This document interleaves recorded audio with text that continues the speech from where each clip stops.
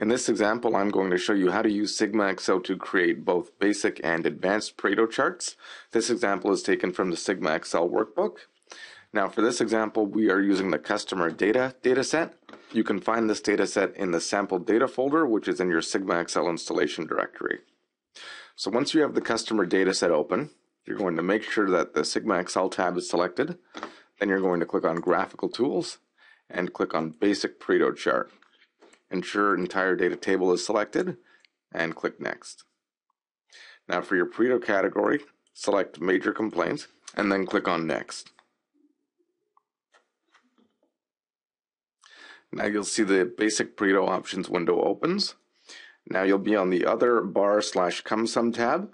And on this tab under the CumSum line heading, make sure on top of first bar is selected. And then you can click on the chart options tab. And on this tab, under Category X font, select Slanted. Under Data Labels, select Bars and CumSum. And under Secondary Y-axis, make sure that percent is selected. Now click on Save Defaults and click Finish. And you'll see that a Pareto chart is produced using the settings that we just input in the basic Pareto options window. Now to create an advanced Pareto chart, click on sheet 1 of your dataset, click on the SigmaXL tab, then click Graphical Tools, and click on Advanced Pareto Options. And the Advanced Pareto Options window opens. Now under the heading Order of Bars, select Same Order. Under Come CumSum line, make sure Independent of Bars is selected. Now after making sure of this, click on the Chart Options tab. Now under Category X font, select Slanted.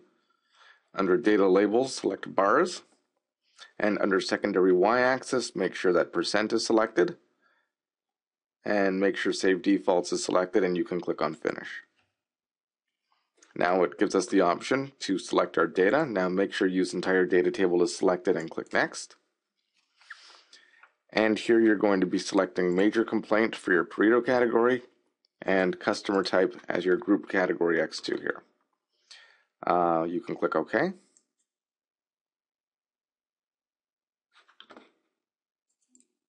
And when I zoom out, you can see that a Pareto chart of major customer complaints is produced for each customer type, customer types 1 through 3.